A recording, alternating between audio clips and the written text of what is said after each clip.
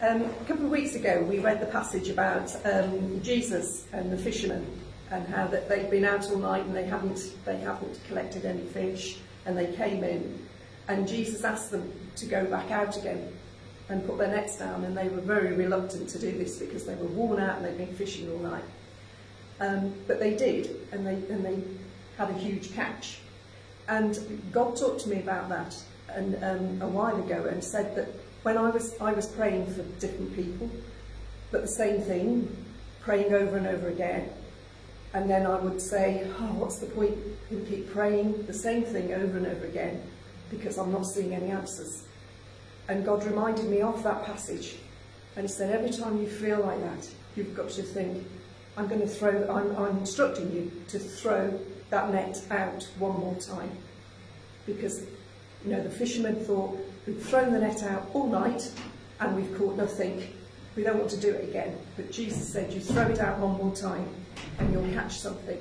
And, and I think Jesus is saying that to us too. When we think, oh, we keep praying for the same thing and nothing happens, Jesus wants to say, throw that net out one more time. Thank you. Thanks, Karen. Thank you. All right. Good morning. Is it still morning? Yes. I Um, I am, as Ruth said, I'm going to be sharing this morning about um, part of our series, Encounters with God. And I'm going to be sharing about Saul of Tarsus, who we know better as the Apostle Paul. And um, I'm going to be sharing about this man whose identity was changed following his encounter with Christ. And Saul's identity didn't change in quite the same way that Peter's did. But Saul did come to be known by a different name following his encounter with Jesus Christ. Um, Peter was one of those disciples who was with Jesus and following Jesus and was one of the twelve um, who Jesus had called to become an apostle while Jesus was still discipling and walking the earth and ministering as, uh, in the flesh. And um, Paul, quite differently, um, did not become a Christian um, during Jesus' ministry. In fact, he was very much the opposite. He persecuted the church, and he did horrible things to any Christians that he could lay hands on. And he was known at that point as Saul. Um, Saul was his Hebrew name, and if you think about famous, well known Sauls in the Bible, we think of King Saul, who was the king who um, was, was the first king of Israel and he was the king before David. And um, as such, he wasn't the best king in the world, um, and so he didn't have the best reputation. But like Saul, um, Saul of Tarsus was of the tribe of Benjamin. And uh, Saul of Tarsus was very proud of his Jewish heritage. Um, even though he wasn't born in the land of Israel, um, he was very much part of a Jewish community that was very strong and very easily identifiable in the city of Tarsus. Um, Tarsus is, um, if you look at, if you imagine this is the um, coast of Israel in the Mediterranean, and if you come up around towards Syria and then um, sort of turns a corner uh, into Turkey, um, Tarsus is kind of in that corner. Uh, so it's towards the southeastern um, border between Turkey and Syria. Uh, at the time, it was all part of the Roman Empire. And there was a very, very important Jewish enclave in the city of Tarsus. And um, Paul, or Saul, was part of that. He had probably, uh, scholars think, either through his grandparents or his parents, become a Roman citizen because the Jews in Tarsus had very, very strongly supported Julius Caesar on some of his campaigns in that area. And um, many people know that Saul, by trade, had been a tent maker, and Tarsus was known for a place where tent making was one of the major products of the city, and they would make big marquees for the Roman military. Um, so if you ever watch movies where the um, the Roman soldiers are you know doing campaigns and um, in Germany or, or wherever around the world they were having military campaigns and they'd have these big massive marquees that, um, that the, the generals and the commanders and uh, the soldiers would all stay in. those were mostly produced in Tarsus. Um, and so that was Paul's trade, that was most likely his parents' trade, possibly his grandparents' trade, and going on down. And um, he had been granted Roman citizenship, um, definitely through his parents, um, and probably his grandparents, um, possibly even further back. So he was a very interesting character, um, because here you have this very, very um, Jewish man who very much was proud of his Jewish heritage, his Jewish culture and traditions and customs, and he was so um, so fervent for his Jewish culture and faith that he moved to Jerusalem so he could study under one of the most uh, important rabbis of the time, Gamaliel. And there in Jerusalem, he became more and more zealous, and he became zealous to the point that once the disciples were there in Jerusalem and they were preaching in the temple, that Saul decided that he needed to get rid of these guys, that they were polluting the Jewish faith, and that he was going to do everything in his power.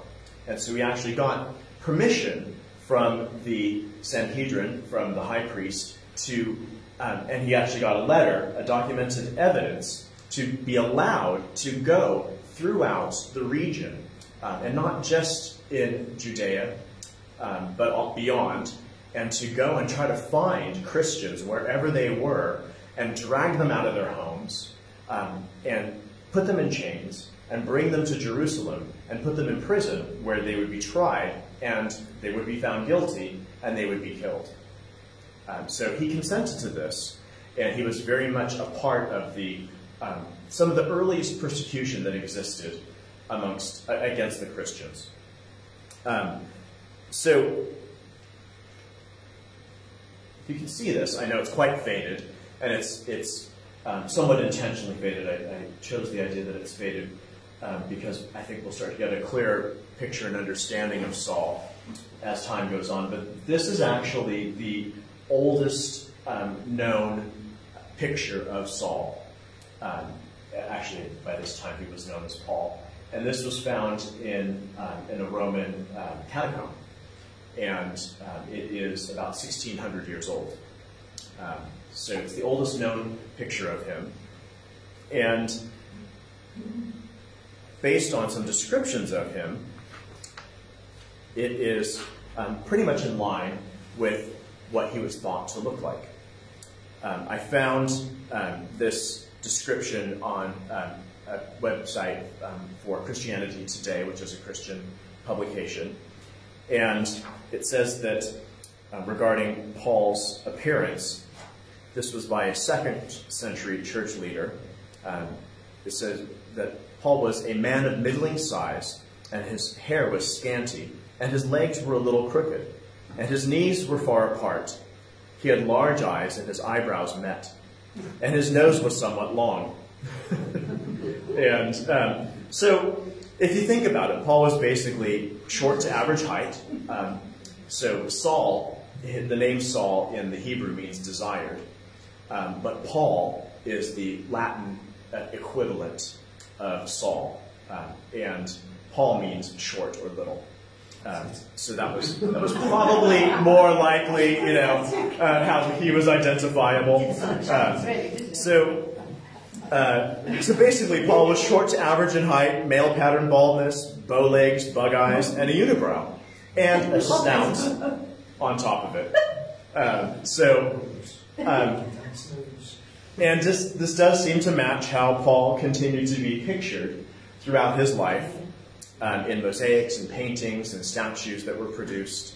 And um, in, the, in the scriptures themselves, we actually don't find a lot about his physical appearance, but we do read this in Second Corinthians. His letters are weighty and forceful, but in person he is unimpressive. so, wow.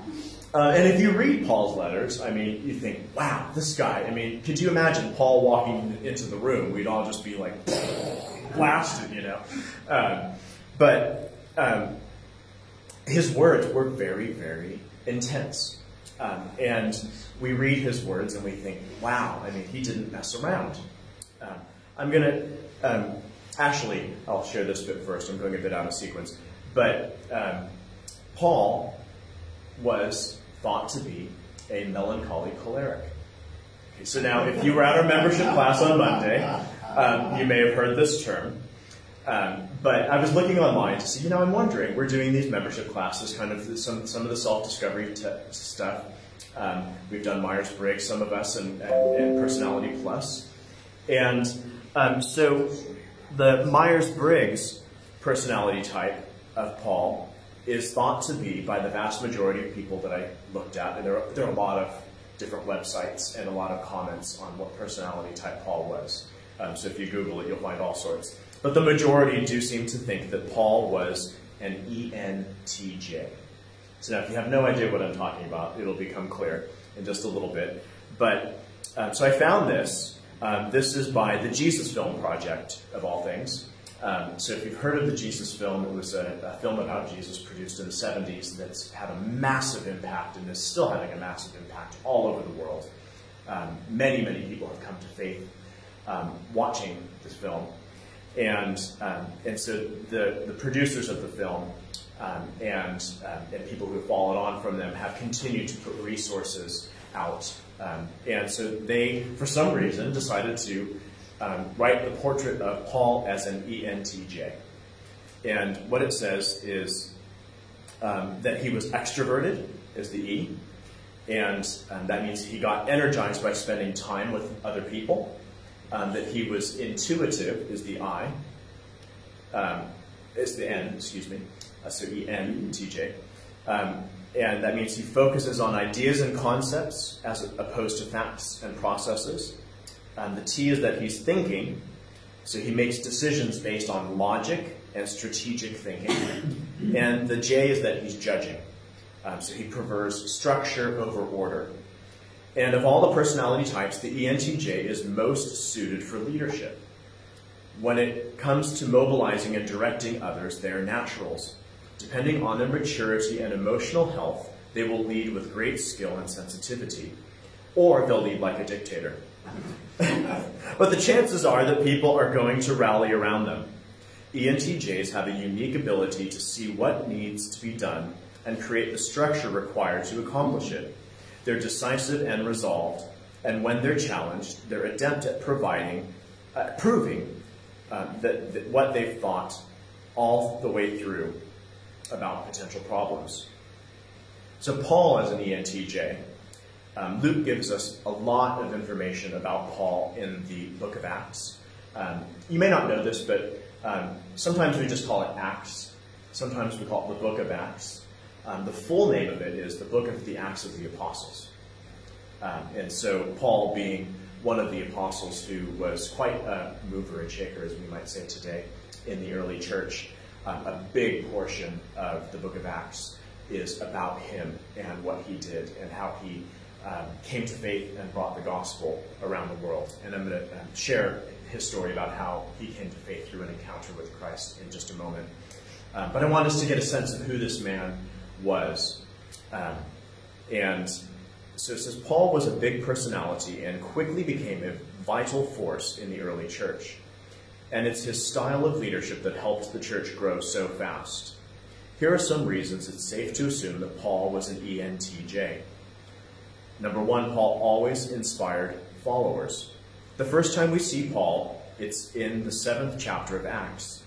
Luke calls him by the Hebrew name Saul and tells us that when the Sanhedrin stoned Stephen, the first Christian martyr, witnesses who got involved stripped off their outer garments and laid them at Paul's feet. So now that's a sign that Paul was very, very, very well respected and, um, and not only that, but that Paul was somehow instrumental in the stoning of Stephen. Um, and um, it, it continues here. This not only tells us that Paul approved of this action, but it demonstrated that he was well known and respected. Almost immediately, we see Paul going from house to house, dragging off Christian converts and throwing them in prison. Luke tells us that Paul wasn't doing this alone. He's singled out because he's going to have a life changing interaction with the risen Jesus. But he's also singled out because he's leading this persecution. Paul went to the high priest and requested that letters be sent to the synagogues in Damascus to alert them that he was coming to arrest any Christians in their communities. Paul meets Jesus on the road to Damascus, which tells us that even the high priest recognized Paul's leadership and agreed with his strategy. Um, I'm actually going to read that before we read more about his personality. Um, it's quite dark. Hopefully, you can see that and follow along with me. Um, so, this is from Acts chapter 8, verses 1 through 3. and it says Now Saul was consenting to his death, his death being Stephen's. At that time, a great persecution arose against the church, which was at Jerusalem. And they were all scattered throughout the regions of Judea and Samaria, except the apostles. And devout men carried Stephen to his burial and made great lamentation over him. As for Saul, he made havoc of the church, entering every house and dragging off men and women, committing them to prison. And um, I'm going to jump in, jump ahead a little bit in Paul's story. And so we find out that Paul um, has gotten this letter from the high priest, um, and it's been sent ahead of him, and he keeps a copy with him as he is now on his way to the Syrian city of Damascus to go and see if he can find any Christians there in that city. And it was well known that there were um, a good number of them who had fled there once they started to be persecuted in Jerusalem. Um, and so, um, so Paul's on his way uh, from Jerusalem to Damascus, and we read this. Then Saul, still breathing threats and murder against the disciples of the Lord, went to the high priest and asked letters from him to the synagogues of Damascus, so that, he, so that if he found any who were of the way, which is a name for the early church, the way, followers of the way, um, whether men or women, he might bring them bound to Jerusalem. As he journeyed, he, became, he came near Damascus, and suddenly a light shone around him from heaven. Now imagine this. Imagine being in Paul's company. Or if you can, imagine being Paul, or someone like Paul, who is so fervent and so intense about what you believe that you're going to harm and potentially see murdered anybody who believes differently than you. You're a radical zealot. This was Saul of Tarsus. And he's on the road to Damascus, and this light from heaven shines around him. And he fell to the ground. No, I've done it. Oh, thank you. And he fell to the ground and heard a voice saying to him, Saul, Saul, why are you persecuting me? And he said, Who are you, Lord? And the Lord said, I am Jesus, whom you are persecuting. It is hard for you to kick against the goads. So he, trembling and astonished, said, Lord, what do you want me to do? And the Lord said to him, Arise and go into the city, and you will be told what you must do. And the men who journeyed with him stood speechless, hearing a voice, but seeing no one. Then Saul arose from the ground, and when his eyes were opened, he saw no one. But they led him by the hand and brought him into Damascus. And he was three days without sight, and neither ate nor drank. So, Saul's encounter with the risen Lord Jesus is quite a bit different than Peter's encounter with Christ. Um, Jesus told Peter, Simon Peter, that he would no longer be known as Simon, but he would now be called Peter, or originally would have been Cephas, which is the Aramaic word for stone. Uh, Peter is our English translation of um, Pietro um, in Latin, uh, in the Greek. Um, and so the transformation that comes and the new identity that comes for Saul, being Paul, is something that was done a bit more intentionally. Um, whether it's something that he himself chose to do, or whether it's something that um, the church leaders that he was working with conferred with him and said, let's take this approach. Let's, um, but as we read on, what we find out is that Jesus commissioned Saul of Tarsus to go to the Gentiles, to the non Jews, um, and to the children of Israel, and to kings to preach the gospel of Jesus Christ. That Jesus chose him for this purpose and was sending him. Um, and that's what an apostle is. That's what it means. It means a sent one, um, one who has been sent for a purpose or a mission. And um, so, being one who is sent to the Gentiles, um, we uh, most people believe that Paul slash Saul was always known by both names because he lived in a Romanized city in Tarsus.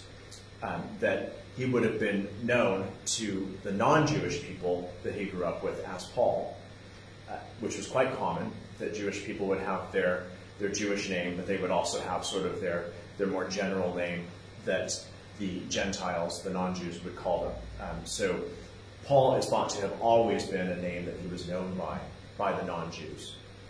And since he was being sent by Jesus to go and, and preach the gospel to especially the Gentiles, um, it was thought that Paul decided to um, take on that Latin name and be known by that Latin name so he could be more relatable as he was um, speaking mostly to a, um, a non-Jewish audience as he would go out and minister. Um, so his rebranding of himself um, was done quite intentionally. Um, later on in Scripture, Paul says that he has become all things to all people. And it's not that um, choosing of um, the name Paul over his Jewish name Saul was part of that process. It was part of him uh, making himself able to relate better to the non-Jew.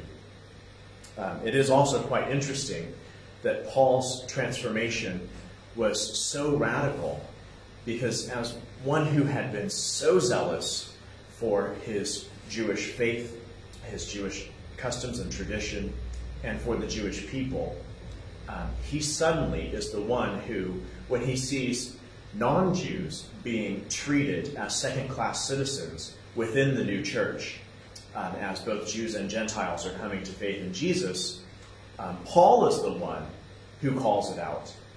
Paul is the one who uh, blasts Peter and says, How dare you refuse to sit when we all gather together with the non Jewish people?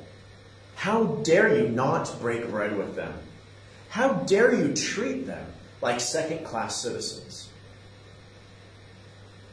That's really radical. If you can imagine this extremely zealous, essentially terrorist, who had been um, fighting and, and, and consenting to the murder of Christians, suddenly becoming the one who says, Not only am I now a Christian,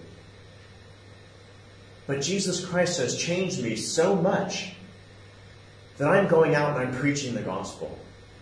I'm going out and I'm preaching the gospel to people that you know, they weren't Jewish, so we barely even consider them truly human. And yet, they were the people that he witnessed to the most and the most fervently.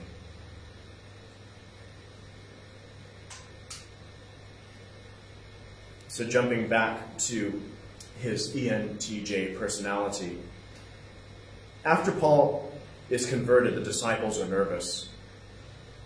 And Ananias was told by Jesus to go and to pray over this, this man who was still known as Saul. Um, and that Jesus had spoken to Saul as he was praying in his three days of blindness and fasting. Um, and Jesus had told Saul that a man would be coming and would be praying over him. And so Ananias um, gets this word from the Lord to, to go to a certain place and find Saul and pray over him. And Ananias is thinking, What? you want me to pray over this man who wants to murder me? Are you joking? And yet, he was faithful to do this. Saul had inspired so much fear in the early church that they were afraid of him. They didn't want to welcome him into their midst. They probably wondered if he was actually coming in as a spy. But, again, we read after Paul is converted, the disciples are nervous. Maybe this was all an elaborate trick to infiltrate the church. Almost immediately, Paul starts wandering around Jerusalem and telling others about Jesus, nearly getting himself killed by some Greek Jews. From this point on, the, the momentum of the New Testament shifts from Jesus' disciples toward Paul. While he still respects the authority of Peter and the others, Paul begins to grow in influence and overshadows, overshadows the others. None of this is Paul's intention. Instead, it's a function of his personality and his calling. When an ENTJ sees a need or an opportunity, they jump. Immediately strategize a plan to solve a problem or capitalize on a specific opportunity and people are drawn to their common sense solutions and enthusiastic plans. ENTJs aren't overly sentimental, and this would explain how Paul was so um, really easily able to separate himself from his Jewish heritage and his Jewish way of thinking and being and doing things. It's interesting to look at how Paul's, Paul views his past life. He was born to Jewish parents, but was also a Roman citizen he studied Jewish law under a well-known and much respected rabbi. He was well on his way toward becoming a Pharisee of some renown. And when he meets Jesus, he abandons his past completely without any sentimentality. ENTJs aren't prone to fits of nostalgia or romancing the past. When new and better information comes, they quickly and easily abandon what no longer makes sense. They're always looking toward the future, when Paul writes to the churches about turning from their old lives and embracing their new identities, it's from the perspective of an ENTJ for whom the process is effortless. Does that sound like any of you? Or do you read that and think, wow, turning away from my old ways, that process is anything but effortless, or something in the middle? This helped Paul embrace his new identity so profoundly and communicate, I consider everything a loss because of the surpassing worth of knowing Christ Jesus my Lord, for whose sake I have lost all things. I consider them garbage that I may gain Christ. And that's from Philippians 3 8. Paul was not overly concerned that he was liked we see that throughout Paul's ministry, he wasn't afraid to take risks that resulted in beatings and stonings. In his letters, he had no problem calling out individuals who were undermining the gospel. And sometimes he did it by name. In Philippians 4 2, he wrote, I appeal to Euodia, and I plead with Syntyche to be of the same mind in the Lord. And that was quite mild. he said much harder things than that. When Paul receives word that some doubt his apostleship, he insists to the church at Corinth that this simply isn't justified.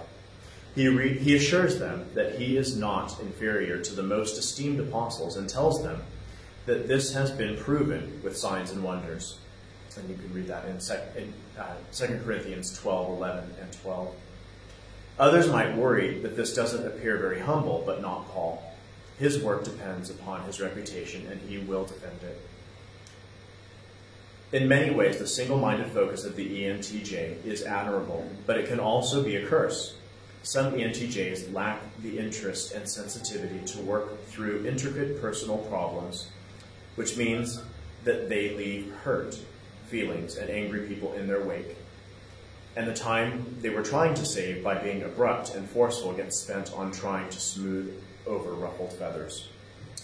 Um, and so hopefully that gives you a bit of a sense of who Paul is. Um, and again, this is kind of looking back with a modern filter to some extent and looking at what he's written and what's been written about him. and, um, and saying, okay, somebody who uses these words and this approach and does the things that he has done, um, you know, they, they seem to fit this um, general personality trait. But I think that, uh, that they did a good job of explaining him. Um, I'm not going to go a whole lot into the melancholy choleric other than to say that I am also a melancholy choleric. and um, so when I read that, I'm like, okay, I relate to that.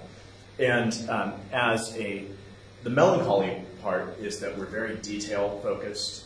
Um, we like to make sure that you know, we have lists, we're orderly, um, and, um, and sometimes we can get so caught up in our order and our lists that we get into our own heads. Um, and, and the choleric part, though, is that we're doers. Um, we also want to get things done, and we'll jump right in, and we'll see a need, and we'll say, okay, all right, I'm, I'm gonna I'm gonna meet that need. And then you write lists about it. Yeah. and then we write lists about it because we're also melancholy. Um, and um, so um, Paul has been described as many, many people over time as a bull in a china shop. Um, something or someone more likely to cause a lot of damage um, when surrounded by so many fragile things, whether the bull targets those fragile things or not, um, whether it's just because the bull is simply too powerful um, and clumsy to gingerly step past in order to preserve the delicate, del delicately balanced bowls and saucers and cups that are stacked up. Um, Paul didn't worry about that. He was of the approach, you know, let's deal with the truth. We'll worry about your feelings later. Um, and some other ENTJs that you will have heard of um, are Bill Gates, um, founder of Microsoft, um, former U.S. President Barack Obama, um, well-known British singer Adele, um, Paul's favorite person ever in the world, Margaret Thatcher. Um, and now, now, don't hold this against the Apostle Paul. That, that you know he's also an ENTJ like Margaret Thatcher. Um, Steve Jobs um, of Apple, and historically Napoleon Bonaparte, famous French or infamous French dictator. Um, so, this rebranding of Saul into Paul, this transformation that came because of his miraculous encounter with Jesus Christ, um, made it so that um, really, chances are, we have now all had the opportunity to come to faith. There's a strong likelihood that if Paul had not been as fervent for the name of Jesus, for the gospel message, and for the commission that Jesus gave him to go to the Gentiles, to preach before kings, and even the children of Israel, chances are most of us would not have had the same opportunities to come to faith in Jesus Christ that we've been presented with. Um, now, Jesus works in many, many ways. He may have found another vessel, another way.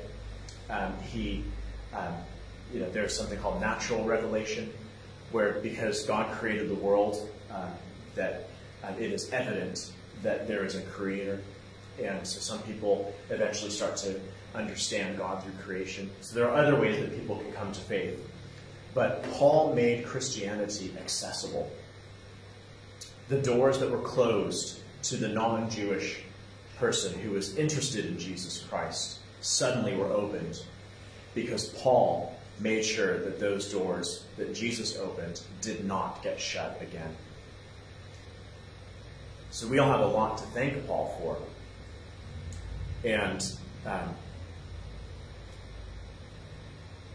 in the scripture that talks about Paul and his encounter with Jesus on the road to Damascus, Jesus says, Paul, it must be hard to kick against the goads. And I wanted to talk about that a little bit. Um, and then I'm going to, as I had said on Monday evening, um, I'm going to share a bit about my story and how um, I was kicking against the goads as well. So, a goad Um, you ever heard the term uh, that somebody's been goaded along? Um, so it's the same idea of prodded along. Um, so goad, um, there were several versions of it. One of the main ones was called an ox goad. And if you have ever seen um, portrayals of oxen plowing a field, um, often there'd be two side by side, and they'd have you know, they'd be sort of bound together. And then there's somebody driving the ox, and it looks like there's a big stick between the two, um, and that is often the uh, ox goad. And uh, it ends with a point like this. Some of them aren't quite as fancy. Some of them are just big, long wooden sticks, um, but they're pointy. And the person driving the oxen um, uses them to poke and prod the ox to go the right direction.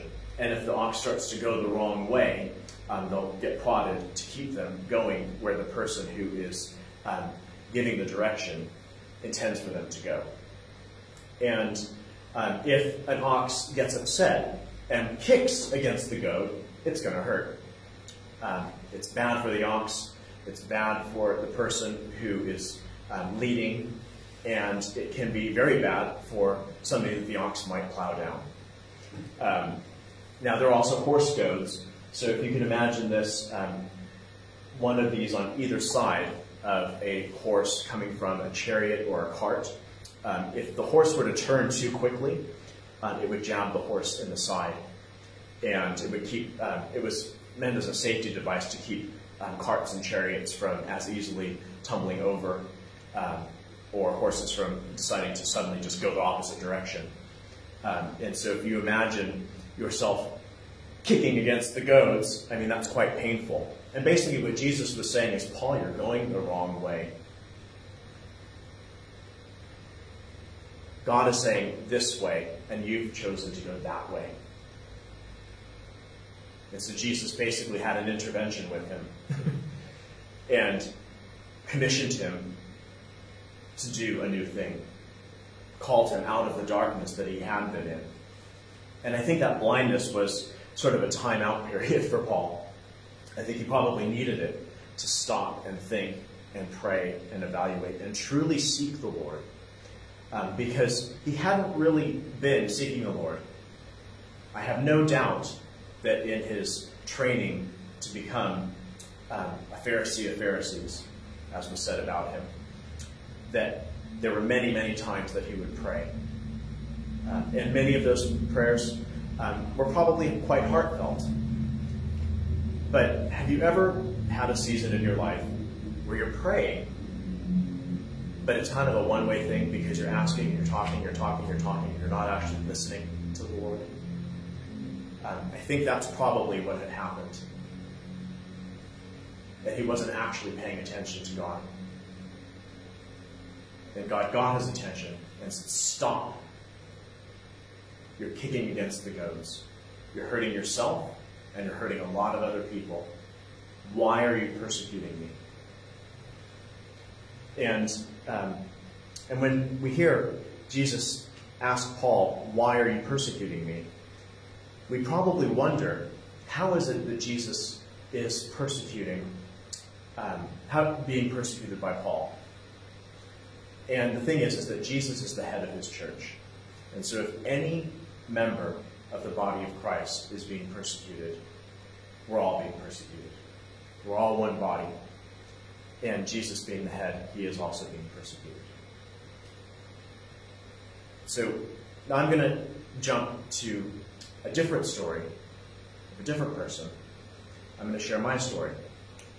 Um, I was saying last week and encouraging everybody that we want to hear your encounter with God, your encounter with Christ, um, whatever it may be, because um, we very, very strongly believe that um, how you have come to faith, how you have encountered Jesus, how he has spoken to you is important and is valuable and is helpful to somebody. And um, so I thought, well, you know what? I can't just put that out there and not be willing to share mine. So, uh, so I said, oh, okay, I'll, I'll jump in and I'll go first. So, um, for me, I was, um, as a young boy, I was raised um, in a Catholic family. um, my heritage is Sicilian, and as such, um, you, you're Sicilian, you're Catholic, and it was just sort of, you know, all one thing. Uh, and um, as a little boy, we went to church, and then my family moved away to Southern California from Northern California, and away from the influence of my grandparents and extended family, um, we stopped going to church. And I was young enough, I didn't really realize what happened. I just thought, okay, well, we're in a different place, and okay. Um, and then we moved back some years later, lived with my, my grandmother, my mom's mom, and, um, and so she um, put a lot of pressure on my parents to have at least one of the grandchildren, me or my brother, go to church with her. And, um, and so I was the one who said, okay, we can go. Um, and, uh, and again, I was young enough not to really question it, but we were going and, and had to go to these catechism classes in the Catholic Church. And I just thought, what is this? This is, this is so boring. and um, I couldn't stand it. And just, you know, the incense and the bells and the, you know, you know, just hated every minute of it. And, um, and so once we moved out of my grandmother's home into our own family home, a couple towns away, um, there was no more church again. And so I'm like, oh, great. So, um, and we built the home that my, uh, my parents, well, my mother is now living in, and um, built it from scratch. It's a, it's a custom, quite nice home on a good sized piece of land. And um, it got the attention of the local Mormon community. Um, quite a bit of, quite a few Mormons in the area that I grew up in. And um, I always joke that they saw a big house and they thought, ooh, you can store a lot of food in there because that's, that's something that they do. Um, they store it for the, uh, uh, for the end times. And, um, or you can fit a lot of people in there, big family, because that's another thing I do is have lots of children. Um, so we had a, um, a Mormon who was, um, we found out much later, was a bishop in the Mormon church who would come, and he had gone to school with my mother. Um, so I think out of that connection that they had in their childhood, um, they, it was decided that he would be a good one to try to, you know, to evangelize, to witness to our family. And so she felt bad that, you know, she didn't want to shut out this man that she had known from childhood. So she would let him in sometimes and he would talk and he would ask us some very pointed questions about what we believed. And I um, uh, hadn't really thought about this stuff in much detail. It was only probably about maybe 14 at the time, 13, 14. And so I started to think, well, maybe I should really try to figure out what I believe about spiritual things. And so I thought about it and I thought about it. And, and I decided, you know what? I don't believe any of it. I don't believe anything spiritual. I don't think there is or ever was any God or gods or any of that. Um, I don't think that religion is legitimate. I think it's all superstitious. It's all foolish nonsense. And if all these silly religious people would just get over their foolish, superstitious ways, all of mankind could come together, and through science we could solve all the world's problems through rational thinking. And um, so, yes, I became an atheist um, at a fairly young age. And over time, I became a very staunch atheist. And um, as time went on in high school, I joked that I became a bit of an evangelical atheist, where if somebody was wearing a cross or a Jewish star or had the, the Sikh um, turban with a little sword or anything like that, we were in quite a relatively diverse area. Um, any kind of religious symbolism, um, I would try to convince them that their beliefs were just superstitious. And um, fast forward a little bit, my brother goes off to university. Um, my mother realizes that my time to go off to university is not too far down the road. Uh, she was a stay-at-home mother at this point. She was getting very um, clingy um, because you know the, the, baby would be flying the coop, and then it'd just be she and my dad in this big house rattling around. And so she um, would ask me 20 questions every time I got back from school, like literally. So, so the house is quite long, and so I, we would enter through the garage. Um, I would open the door, and my foot would not even hit the ground inside of the house before she started asking me all these questions. Um, what did you meet today? What did you learn? Who did you see? What did you talk to? What were they wearing? You know, I'm just like, whoa, okay, enough. Let's, let, can I just come in and put my book bag down and, and have a seat and maybe have a little snack and it's a long walk and, you know, all this stuff. And, um, and, but every day it was like this and I was, like, oh, it's too much. And uh, I was always quite independent. And, um, and so um, one day I came home and she wasn't there. This is nice. You know, I should probably be home in a minute, but you know, I can just come in and, and kind of relax and have a little snack. And you know, but this is too good to be true. This never happens. So, uh, well, let me make sure that I actually am home alone. And so I went and I checked through the whole house, um, and yeah, nobody's home. Okay, great. And I still had my book bag with me, and, and back to my bedroom a second time after checking it. I put my bag down on the ground, and as I'm here, somebody behind me calls my name. And I checked, I knew nobody was home. So I very, very slowly stood up, and I was frightened. I was terrified because my first thought was that we'd been broken into and we were being robbed. I don't know why I jumped to that conclusion, but that's what I thought. And I very slowly turned around, and Jesus was standing behind me. And I did not believe in Jesus. I did not believe in visions. I did not believe in anything supernatural. Everything was rational, logical, explainable. And yet, this is happening. And he says, Todd, go to church. And if my jaw could have been on the ground, it would have been. And I felt like I stood there for a long, long time. Uh, probably it was only a few seconds, but it felt like hours. And eventually I started to try to rationalize and explain to myself what had just happened. And it was quite a hot day. Um, we had blinds in my bedroom that were shut, but light would come through a little bit. And so, well, that's what I saw, uh, because he was all kind of ghostly white, um, and um, and it had not not a halo that you would see in a picture, but he had a glow around him, and he was glow. I mean, uh, and I could see that he had eyes, I could see that he had hair, I could see the holes in his hands, but I couldn't um, tell you what color his hair was, um, what color his eyes were, anything like that.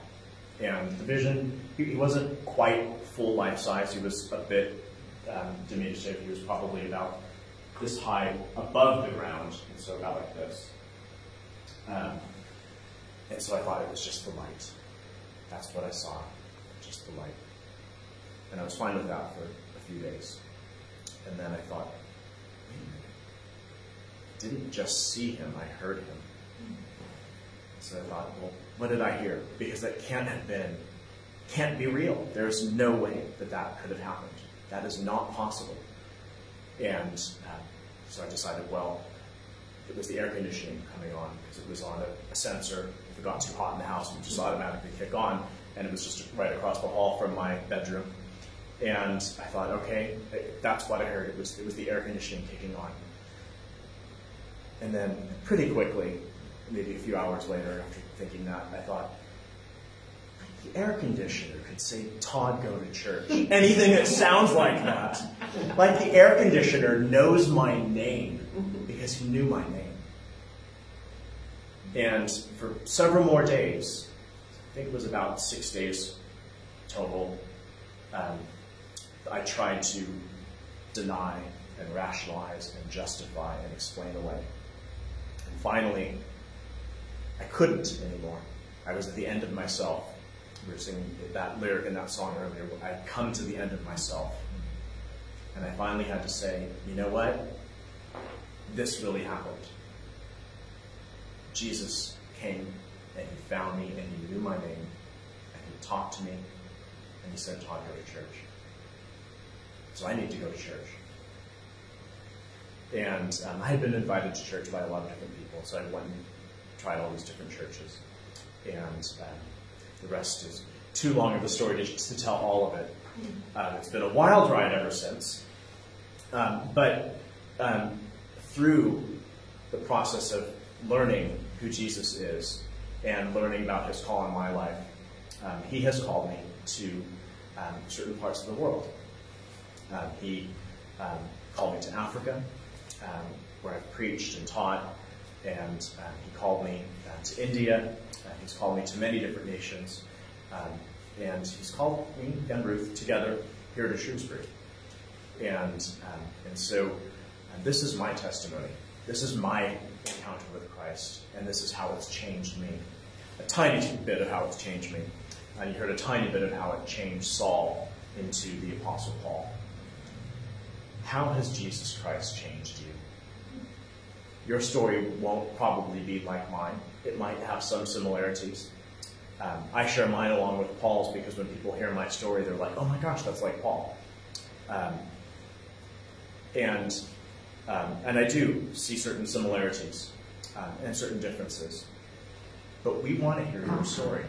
If your story is something like, well, I was raised in a Christian home and I just sort of always knew, and, you know, and I and just always went to church and I always believed and I, you know, it was just sort of, you know, there was no big aha moment. I love those stories. People hear my story, and especially the latter bits when I strayed terribly from the Lord and how He delivered me from drugs, He delivered me from addiction, He delivered me from depression. Um, they, people hear all of this and they think, wow, I wish I had a story like you. And I think, I wish I had a story like you. You have all, who have just always known and have been faithful and have, you know, more or less stayed on the straight and narrow. Um, because to me, that's powerful. I think a lot of um, parents would love to hear that story. Christian parents who are trying to raise their way, their children in the ways of the Lord would love to hear that story to know that it's possible. Um, your story is powerful. My story is the story of a stubborn man who was kicking against the goads, um, who needed a lot of correction and he needed um, some hard intervention. Um, your story doesn't have to be that. It might be that. But it's important and it's valuable, and we want to hear it. Um, so, with that said, I'm going to wrap up this part of the service and um, hand it over to Ruth, and I think she's going to, um, we're going to do a little bit.